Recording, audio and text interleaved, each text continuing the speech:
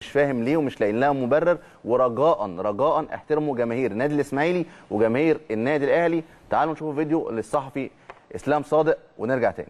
إماراتي وآخر سعودي و15 مليون جنيه سبب أزمة باهر المحمدي.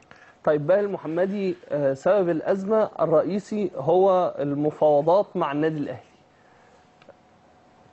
تاني باهر اتفضل. المحمدي آه، سبب الأزمة الرئيسي مع نادي الإسماعيلي هي المفاوضات المكثفة مع, مع النادي النادي, الأهلي. الأهلي النادي الأهلي يرغب في ضم باهر المحمدي بشكل كبير جدا وبالتالي مع بداية الموسم اللي جاي مع أو مع نهاية الموسم الجاري آه، باهر المحمدي آه، تلقى عرض من يعني وسطاء تابعين لسيد عبد الحفيظ مدير الكرة في النادي الأهلي وبالتالي بيمشي في نفس السيناريو. جاله عرض أجنبي وجاله عرض آه، خارجي آه، من بره. عشان بعد كده آه، يعود مرة تانية للنادي الأهلي- للنادي الأهلي. ويمكن تكون ديت اللاعب رقم 10 أو اللاعب رقم 7 اللي من الإسماعيلي اللي النادي الأهلي بي بيقدر بيدخل فيه في مفاوضات. ثم بيجي له عرض بيحترف بره وبعد كده بيرجع على ال- النادي الأهلي.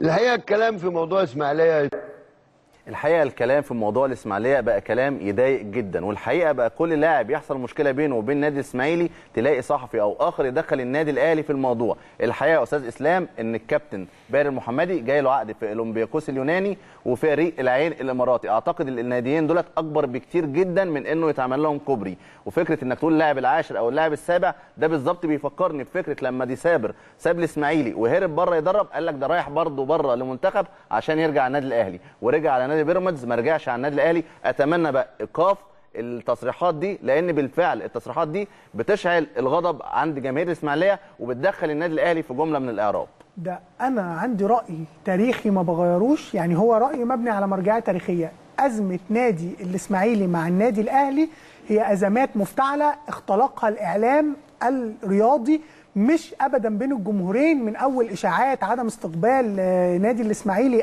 في أبان التهجير واللي رد عليها رموز الإسماعيلي نفسهم ولكن من نفس المنطلق ونفس الزاوية نسمع محمد صبحي الكابتن التاريخي لنادي الزمالك بيرد الإسماعيلي. آه، لنادي الإسماعيلي بيرد بيقول إيه على كابتن إسلام صادق. نشوف الفيديو. الزمالك و... الأهلي صنع إنجازاته بتاعت الألفية الجديدة من خلال الإسماعيلي زي ما بيقول جمهور الإسماعيلي؟ لا هو بص آه... انت بيبقى انت سلعة كاسماعيلي زي ما زي أي لعيب دلوقتي في الدوري الممتاز. النادي الأهلي بيفاوضه. هو النادي الإسماعيلي مش انت ك... ال... برضه هقول للنادي الإسماعيلي انت انت جمهورك م... م- يعني انت مضحوك عليك آه. يعني يعني المشكلة لما ابيع للأهلي آه إيه المشكلة اما أنا ابيع للأهلي. إيه المشكلة اما أنا ابيع صبحي إيه المشكلة اما أنا ابيع حسني إيه المشكلة اللي أنا ابيع حتحوت و... بس أنا أعرف أجيب البديل كويس مم. انت انت ليه مصور لجمهور النادي الإسماعيلي والنادي الأهلي دول أعداء وحرب؟ اللي النادي الإسماعيلي هو آه، أو النادي الأهلي ده عدوك. بالعكس. ده جمهور محترم آه، جمهور آه، عايز ياخد بطولات. انت لازم تطمع في ده.